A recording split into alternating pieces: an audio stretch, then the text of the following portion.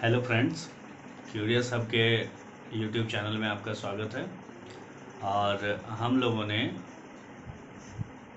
पिछले कुछ दिनों में गणित के बारे में पढ़ा था और अब जो है क्लास नाइन्थ का साइंस में हम लोग चैप्टर वन पढ़ेंगे, जो कि है मैटर इन आवर सराउंडिंग्स तो इस चैप्टर वन में हम लोग देखते हैं, क्या हमारे आसपास जो भी तत्व हैं तत्व की जानकारी दी गई है हमारे आसपास, हमारे आस पड़ोस में, यानी हमारे चारों तरफ़ जो भी तत्व हैं, उसकी जानकारी इस अध्याय में दी गई है।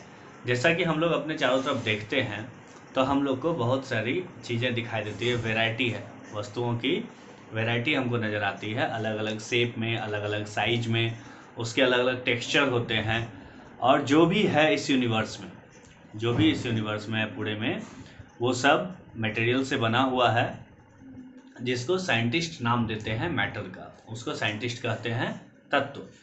और क्या है? क्या हम लोग जो हवा, जिससे सांस लेते हैं, सांस में जो हम लोग हवा लेते हैं, वो भी एक तत्व है, ठीक है? उसके बाद जो हम पानी पीते हैं, वो भी एक तत्व है, खाना खाते हैं, वो भी तत्व है, सारे कुछ मैटर हैं, चाहे वो स्टोन ले लें, बादल ले लें, तारे हैं, पौधे हैं, या फिर जानवर हैं, एक, इवन के एक छोटा सा बूंद अगर पानी का भी हो तब वो सब जो है, चाहे वो आपका फिर पार्टिकल हो सेंट का, सब कुछ जो है मैटर से मिलकर बना है, तत्व से बना है। ठीक है? सब कुछ ही मैटर है, सब कुछ ही तत्व है। अगर, और हम लोग देखते हैं कि अपने चारों तरफ़ जो भी चीज़ है, जो जगह छेड़ता है, जो स्थान घेरता है, ठीक है? और जिसके पास मास है, उसका अपना एक वज़न है तो क्या है कि दूसरे शब्द में हम सब कह सकते हैं कि दोनों मास और वॉल्यूम जिसके पास है, वो सब मैटर है। शुरुआत से ही, शुरुआत के से ही ह्यूमन बीइंग जो है वो ट्राई कर रहा है समझने के लिए अपने आस पड़ोस को। अपने आस पड़ोस को समझने के लिए ह्यूमन बीइंग यानी कि हम जो मानव हैं, वो अपने आस पड़ोस को समझने के लिए प्रयासरत हैं। तो हम लोग प्रयास कर रहे हैं। शुरू में जो इंडियन फिलोसफर थे, जो भारतीय दार्शनिक लोग जो थे, वो क्लासिफाई किए थे मैटर को उनके बेसिक एलिमेंट के रूप में मतलब जिस चीज़ से वो बना है वो उनका मानना था कि किसी पाँच चीज़ से मिल करके कोई भी मैटर बनता है कोई भी आ, जो हमारे आसपास वस्तुएँ हैं वो पाँच चीज़ों से मिलकर बना है। कौन कौन क्षितिज जल पावक गगन समीरा हम लोग ये चीज़ जानते थे। क्षितिज जल पावक और गगन समीर। इन पाँचों चीज़ से मिलकर बना है जिसको अगर हम पंच तत्व ही कह सकते हैं उसमें आएगा आपका एयर अर्थ फायर स्काई और वाटर ठीक है? तो हो गया उसमें कौन कौन हवा है, धरती है, आग है, ठीक है? आसमान है और पानी है. तो उन लोगों के अनुसार जितने भी चीज़ बने हुए थे, वो इन्हीं पाँच तत्वों से मिलकर बने थे. यही पाँच बेसिक एलिमेंट थे. ठीक है? पुराने ग्रीक के फिलोसफर जो थे मतलब ग्रीक में रहने वाले जो भी दार्शनिक हुए थे उन सब का भी सिमिलर क्लासिफिकेशन हुआ था। उन, उनका भी बताया हुआ सिमिलर ही था मैटर के बारे में सिमिलर क्लासिफिकेशन था। आजकल के साइंटिस्ट जो हैं, आजकल के साइंटिस्ट जो हैं, यानी आजकल के वैज्ञानिक लोग जो हैं, वो दो टाइप का क्लासिफिकेशन देते हैं किसी भी मैटर का। उनके फ़िज़िकल प्रॉपर्टी और केमिकल प्रॉपर्टी पर। केमिकल नेचर जो होता है और फ़िज़िकल प्रॉपर्टी जो होती है, उस पर ही वो लोग क्या करते हैं, उसको बांटते हैं, दो तरह का, दो तरह से बांट रहे हैं आजकल के साइंटिस्ट इस चैप्टर में हम लोग पढ़ेंगे उसके बारे में मैटर का फ़िज़िकल प्रॉपर्टी क्या है और केमिकल एक्सपेक्ट जो है मैटर का, उसके बारे में हम लोग जो अलग इस पूरे चैप्टर में उसकी जानकारी दी गई है, उसके बारे में जानेंगे। ठीक है? तो पहला आता है point physical physical nature of matter physical nature of matter ठीक है? इसके बारे में हम लोग जानते हैं। तो अब हम लोग इस पॉइंट के बारे में जानेंगे physical nature of matter matter तो मैटर जो है, ये मिलकर बना है पार्टिकल्स से, ठीक है? छोटे छोटे टुकड़ों से मिलकर बना है। लंबे समय पहले की बात है मतलब बहुत पहले की बात है, दो स्कूल थे, उनका सोचना था, पहला का सोचना था इस मैटर के बारे में कि ये एक लंबे लकड़ी की तरह है, ठीक है? मतलब एक लंबा सा टुकड़ा है, लकड़ी की तरह है मतलब कंटिन्यूस रहता है। ठीक है, जबकि दूसरे का मानना था कि इसमें छोटे छोटे पार्टिकल होते हैं बालू की तरह। तो दोनों स्कूल्स का मानना, यानी दो तरह के लोग थे। स्कूल्स को आप अगर देखते हैं एज ए स्कूल देखिए, या फिर दो तरह के लोग थे, उन दोनों का मानना था। एक का मानना था कि मैटर जो है, वो एक लकड़ी का ब्लॉक जो होता है, उसकी तरह है मतलब लगातार है कंटिन्यूस है, जिसको हम लोग लकड़ी का पटरा या लकड़ी का तख्ता जो समझ लीजिए, उसकी तरह है। और वहीं दूसरे का मानना था कि मैटर जो है वो बालू की तरह है मतलब सैंड के छोटे छोटे पार्टिकल जो होते हैं, उसके तरह है। तो हम लोग एक एक्टिविटी करके देखते हैं। उससे पता चलेगा नेचर क्या है मैटर का, ठीक है? उसका स्वभाव क्या, प्रकृति क्या है, क्या वो कंटिन्यूस है या फिर उसमें पार्टिकल है। तो इसको हम लोग देखते हैं। तो इसमें कहा गया है कि एक आपको सौ एम का बिकर लेना है। उसमें जो है आधा बिकर जो है पानी भरना है और उसमें मार्क कर लेना है लेवल वाटर का। अगर हम एक बिकर लेते हैं नॉर्मल है कि अगर हम यहाँ पे मान लीजिए एक बिकर लेते हैं, ठीक है? अगर हम एक बिकर लेंगे, उसमें अगर हम पानी डालते हैं, यहाँ तक है पानी, और इसको हम यहाँ से मार्क कर लेते हैं, ठीक है? ऐसा ही आपको करना है कि उसको फिर वहाँ से मार्क आपको कर लेना है, और उसमें वाटर का जो भी लेवल था तो उसको हम देख लेते हैं। तो उसमें क्या करना है, कुछ नमक हम लोग को घोलना है। ठीक है? नमक है, चीनी है, कुछ भी है। हेल्प, अगर एक ग्लास रॉड का हेल्प अगर हम ले लें तो उससे घोल करके उसको घोल देते हैं। ऑब्ज़र्व करना है कि वाटर के लेवल में कोई चेंजेस आते हैं या नहीं, ठीक है? तो आप लोगों को क्या लगता है क्या उसमें नमक या चीनी घोलने से उस पानी में कोई चेंज आएगा? उसके लेवल में कोई चेंज आएगा? ठीक है? तो और वो डिसअपियर होता है। पानी में घोलिए, अगर नमक या चीनी तो वो डिसअपियर हो जाता है, ठीक है? तो वाटर का लेवल क्यों नहीं चेंज हुआ? पहली बात ये है और दूसरी बात, वो गया कहाँ? यानी वो जो डिसअपियर हुआ, जो डिजोल्व हुआ उसमें सॉल्यूशन जो बनाया, वो वाटर और शुगर का या फिर वाटर और सॉल्ट का तो वो गया कहाँ? उसको देखना है। तो इस क्वेश्चन का, इन क्वेश्चन का आंसर देने के लिए क्या है? क्या हम लोग को ये आइडिया लगाना पड़ेगा? अगर वो ब्लॉक लाइक होता सिंपल सी बात है, अगर वो कंटिन्यूस होता, एक लकड़ी के टुकड़े, पटरे की तरह होता तो उसमें क्या होता है अगर उस पर से कोई भी ऊपर डालेंगे, कोई भी चीज़ डालेंगे तो वो उसमें अंदर नहीं जा करके वो ऊपर अपना और जगह बनाएगा या अपना जगह स्थान घेरेगा। ठीक है?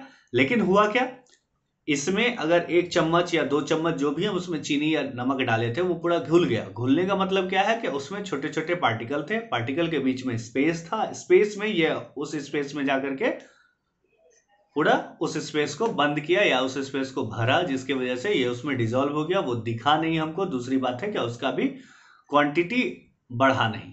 अगर उसमें हम देखें, जो मार्क लेवल था, उससे ऊपर वो पानी या पानी नहीं गया, चीनी या नमक घोलने के बाद भी।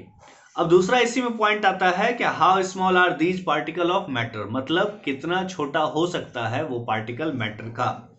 ठीक है? तो इसमें भी एक एक्टिविटी दिया है 1.2 करके, क्या दो या तीन क्रिस्टल लेना है पोटेशियम पर मैग्नेट का और डिजोल्व करना है उसको 100 मिलीलीटर वाटर में।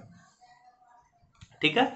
तो उसमें से अप्रोक्सीमेटली जो है 10 मिलीलीटर सॉल्यूशन निकालना है और उसको 10 मिलीलीटर निकाल के 90 मिलीलीटर क्लियर वाटर में डालना है। मतलब जो 100 मिलीलीटर हम पानी लिए थे और उसमें दो तीन जो पोटेशियम पर मैग्नेट डाले थे, अगर वो आपको पोटेशियम पर मैग्नेट नहीं इजीली अवेलेबल होता है तो आप इसका दूसरा उदाहरण ले सकते हैं जो जंगली कलर आता है। घर में होली वगैरह में ग्रीन टाइप में जो कलर यूज़ होता है जंगली कलर उसका भी आप दो तीन पार्टिकल उठा सकते हैं, वो आसानी से उठ जाता है। और उसको भी आप यूज़ कर सकते हैं वाटर में डाल करके तो वो आपको ग्रीनिश कलर देगा। जैसे ये पिंक कलर देता है पोटेशियम पर मैग्नेट जैसे आपको पिंक रेडिश पिंक कलर देगा तो वैसे ही वो आपको ग्रीन कलर देगा। बस कलर का अंतर होगा, आप उससे भी प्रैक्टिकल करके देख सकते हैं। अगर उसको हम डालते हैं तो क्या होता है, सौ मिलीलीटर पानी में वो डार्क कलर छोड़ेगा, ठीक है? उससे टेन मिलीलीटर पानी हमको निकालना है फिर फ्रेश नाइन्टी मिलीलीटर में डालना है, ठीक है? फिर जस्ट वही प्रोसेस हमको तीन बार, चार बार दोहराने हैं।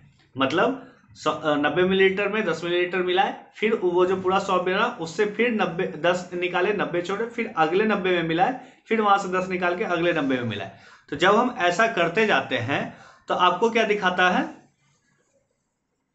क्या छोटा छोटा जो पोटेशियम परमैग्नेट का आपका टुकड़ा था, क्रिस्टल जो था, वो क्या किया? क्या एक लार्ज वॉल्यूम जो वाटर का था, उसमें कलर करने में वो सक्षम है, उतने में वो रंग ला सकता है, लगभग लगभग हज़ार लीटर तक में। आपको वो रंग दिखेगा, ठीक है? तो हम लोग कंक्लूड कर सकते हैं क्यों ऐसा हुआ? ऐसा क्यों करने में संभव हुआ? अगर वो लकड़ी के पटरे की तरह होता, लकड़ी के तख्ते की तरह अगर होता तो क्या होता कि वो पार्टिकल उसमें एक दूसरे में मिल नहीं पाता, घुल नहीं पाता। लेकिन क्या है कि वो छोटे छोटे पार्टिकल हैं और इतने छोटे हैं कि वो आसानी से किसी भी दूसरे पार्टिकल में मिल सकते हैं। पानी में मिल गया, घुल गया उसका कलर इस वजह से वहाँ क्या है कि करोड़ों, आपको मिलियंस में जो है टाइनी पार्टिकल है, जिसको कि एक क्रिस्टल जो है पोटेशियम परमैग्नेट का वो कलर कर सकता है, जो कि अपने आप को हमेशा और छोटे और छोटे टुकड़े में डिवाइड करता चला जा रहा था। पोटेशियम परमैग्नेट का जो एक क्रिस्टल था, उसका जो पार्टिकल था, वो अपने आप को छोटे छोटे टुकड़े में और डिवाइड करते आ रहा था। तब तो वो 10 मिलीलीटर बार बार 90 मिलीलीटर को कलरफुल बना रहा था। अगर हर बार वो 10 मिलीलीटर 90 मिलीलीटर को कलरफुल बनाता है इसका मतलब क्या है? पार्टिकल बहुत छोटा है और वो कलर उसको देता जाएगा ठीक है? सेम एक, सेम एक्टिविटी आप कर सकते हैं दो मिलीलीटर डिटॉल का लेना है पोटेशियम परमैग्नेट की जगह और इवन आप उसका स्मेल डिटेक्ट कर सकते हैं अगर आपको कलर ना भी दिखे वैसे अगर आप नॉर्मल पानी में डिटॉल को डालते हैं तो वो व्हाइट कलर बनाता हुआ जाता है ठीक है? चलिए ठीक है, दूधिया रंग हमको नहीं देखने को मिलेगा, क्यों? क्योंकि एक बार जब अगर दूधिया बना लिया है कलर को तो दूसरे पानी में जाने के बाद वो दूधिया रंग हमको नहीं दिखेगा, लेकिन उसका स्मेल रह जाएगा, जो स्मेल है उसमें वो रह जाता है, और उसको अगर हम बार बार बार बार यूज़ करते जाए मतलब सौ मिलीलीटर से दस निकाले, अगले डब्बे में डाले तो वैसे करें तो कुछ दूरी तक हमको उसका स्मेल देखने को मिलेगा, और वो स्मेल जो है, हम महसूस कर सकते हैं उसको सूंघ कर ठीक है? उसके बाद आता है 1.2 आता है characteristics of particle of matter ठीक है, उसके कैरेक्टरिस्टिक क्या है? पार्टिकल जो होते हैं मैटर के, उसका। ठीक है, इससे पहले एक पॉइंट लिखा हुआ है the particle of matter are very small they are small beyond our imagination मतलब है कि पार्टिकल जो मैटर का होता है, इतना स्मॉल होता है, इतना छोटा होता है, इतना छोटा होता है कि हम उसकी कल्पना भी नहीं कर सकते। उसकी, उसका साइज़ इतना छोटा है कि हम उसकी कल्पना नहीं कर सकते। ठीक है? और वहीं अब आता है particle of matter have space between them मतलब जो मैटर के पार्टिकल हैं, उनके बीच में स्पेस होता है। इसके बारे में चर्चा होगी कल फिर से। वापस characteristics of particle of matter हम लोग कल इसके बारे में जानेंगे। ठीक है?